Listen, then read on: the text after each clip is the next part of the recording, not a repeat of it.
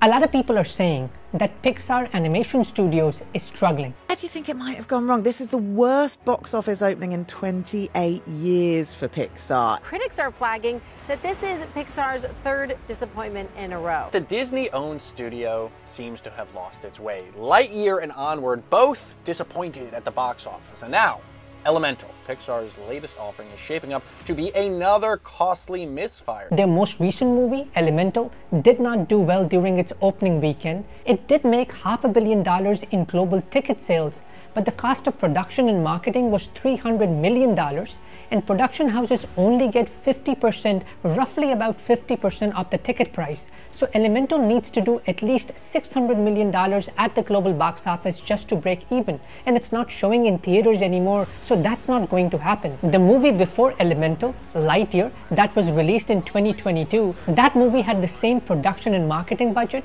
but only did $226 million at the global box office. You may be thinking at this point, that so what if they created two films that did not do well? That just means that the studio is going through a rough time and I completely agree with you. After all, Pixar has this massive archive of really, really good films. But when you look at the information out there, it points to a lot more than just a rough time. It points to bad decisions by Disney executives. It points to changes in the economy, changes in the way people consume content, and by looking at this information, we can understand what happened and we can figure out what companies need to do to adapt in this rapidly changing media landscape. Before I give you the reasons because of which Elemental did not do as well as it should have, I want you guys to know that creativity is not science. Creativity is art. And when you create pieces of art, you have to give your people the right to make mistakes because that's what creativity is. Creativity is the process of embracing failure,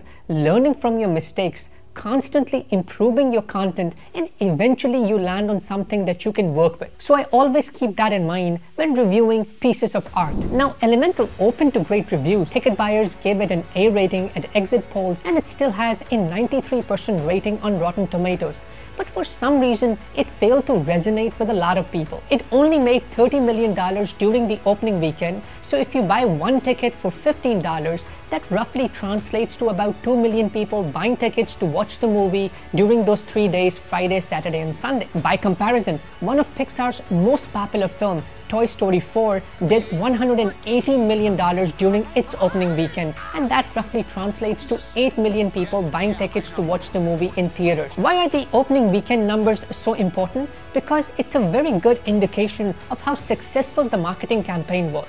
After watching a promo or a commercial on the internet or on television, people could not wait and they bought tickets as soon as the movie was released. So if a lot of people are watching the movie in theaters during the opening weekend, that decides how popular the movie will be throughout the length of time it stays in theaters. Now for their part, the creative people at Pixar did everything that they could to create a good film. They had computers set up in three different rooms to provide the computing power for animation and graphics for this film, never been done before. They also redid the story 10 times, but for some reason, the film failed to resonate with a lot of people. One review I read said that some really important things about the characters were mentioned inconsistently and there were surprises in the story that were not explained well. But more than the story and the movie, there were factors at play that were far outside the control of the creative people at Pixar. For example, the release date of the film. Elemental was released around the same time as the mega blockbuster hit Spider-Man, which made $120 million during its opening weekend. Now, this is very, very crucial information.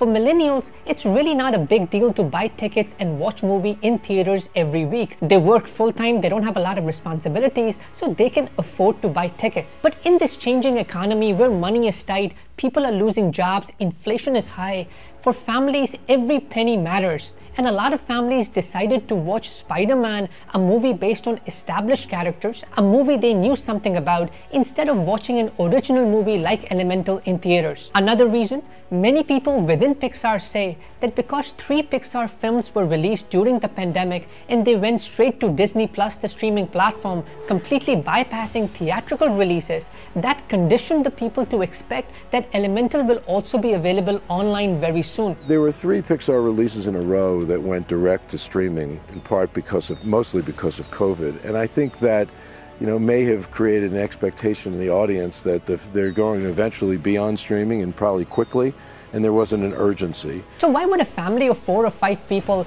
spend 60 or 70 dollars to buy tickets when they can just get a subscription for seven dollars a month and watch the movie at their own convenience pixar did try to fix that they had a screening of the film at the Cannes Film Festival in France, but the reviews that came out of Cannes were extremely negative. Some people said that this was Pixar's worst movie ever, and that points to the movie being a creative miss. People expect Pixar movies to be family friendly and not just for kids. But Bob Chapek, the former boss of Disney, Disney is of course the company that owns Pixar, he said that animation is not for adults and that may have impacted the way Pixar created this film.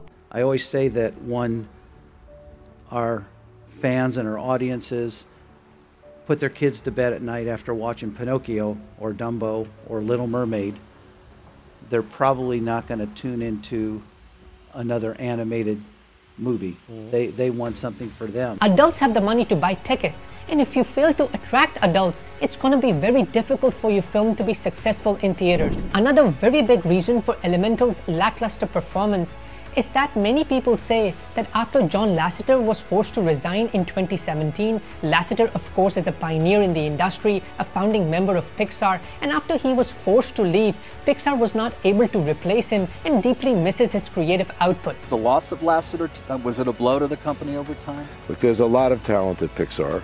There has been turnover as well, not just John, but there's been other turnover too. And that may have had some impact. And it's not just Lasseter. 50 people, including the director Brad Bird, who directed movies like Ratatouille and The Incredibles, are now working under Lasseter at Skydance Animation. Compounding these problems, Pixar had to lay off 75 people to deal with the losses. Keep in mind that none of this is happening in a vacuum. There are plenty of other films by other production houses that did not do well, and one of the main reasons is COVID-19. The pandemic completely changed the way we consume content. Before the pandemic, only 15% of people in America said that they did not go to theaters. After the pandemic, that number now stands at over 50%. Another reason that a lot of mainstream media does not talk about is that when Pixar was founded in 1995, the kind of technology that they had and the kind of people that they had, no one else had them. But over the last 15 years, we have seen a massive growth in animated movies by different production houses. So the viewer is far more critical because the viewer can compare Pixar's creative output to the creative output of other production houses. I did some research and I found out that the average IMDb rating of Pixar films during the first 14 years of its existence was about 87%. Over the last 14 to 15 years, it came down to about 73%. So that indicates that at least according to the viewer, Pixar movies are not performing as well as they used to. Finally, the biggest reason for Elemental's relative failure is that Disney executives forced Pixar to focus more on quantity than on quality in order to have regular content for the streaming platform Disney Plus. But I think in our in our zeal to uh, basically grow our content significantly to serve our, uh, mostly our streaming offerings, we ended up uh, taxing our people way beyond, in terms of their time and their focus, way beyond where they had been. Marvel's a great example of that. They had not been in the TV business at any significant level. Not only did they increase their movie output, but they ended up making a number of television series. And frankly, it diluted focus and attention. So, what can companies do to adapt to this rapidly changing media landscape? I would recommend two things. Companies need to find a balance between creating original films and films based on established characters. If you don't create original movies, then you don't get the opportunity to take advantage of a new franchise. And Disney is by far one of the companies that is best situated to take advantage of a new franchise based on a new film, they can have a new attraction in one of their theme parks, they can sell merchandise in their stores, they can convert a film into a television series. That's what they did with Mandalorian based on Star Wars. Number two, during these times, when the established streams of revenue are completely disrupted, we simply don't know where the money is going to come from. Streaming platforms are currently not profitable. You cannot create films for $300 million and expect it to be successful.